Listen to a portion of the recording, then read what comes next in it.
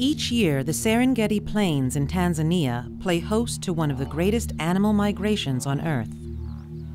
Some 2 million animals begin a round trip that will take them almost 2,000 miles. Fossil evidence suggests that modern wildebeest grazed these plains more than a million years ago. At the beginning of each year, the wildebeest congregate on the fringes of the Serengeti, all giving birth in the same month. Rapidly, their numbers swell. The calves can run as fast as their mothers within two days of being born. No one knows what triggers the migration. There is no discernible signal. It just takes one or two to sniff the air and decide the time is right to leave. The migrating animal's journey is a long and arduous one. Even without the attention of predators, around 200,000 of the weakest wildebeest and zebras will die from starvation, disease, or overexertion during the trek. Every day, fresh carcasses are left behind.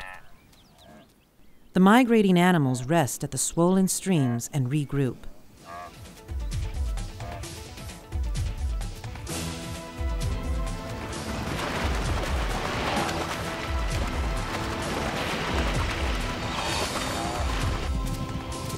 A single cat finds it tricky to bring down a full grown wildebeest.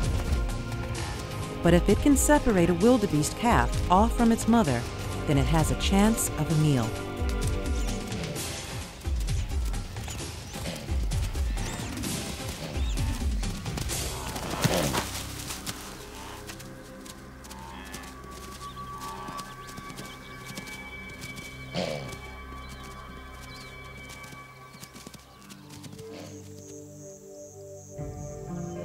In Kenya's Masai Mara, the migrating herds arrive. Rains have created a huge area of well watered grazing. Here, the wildebeest will stay until the smell of November's short rains tell them it's time to regroup and head southwards, back towards the Serengeti.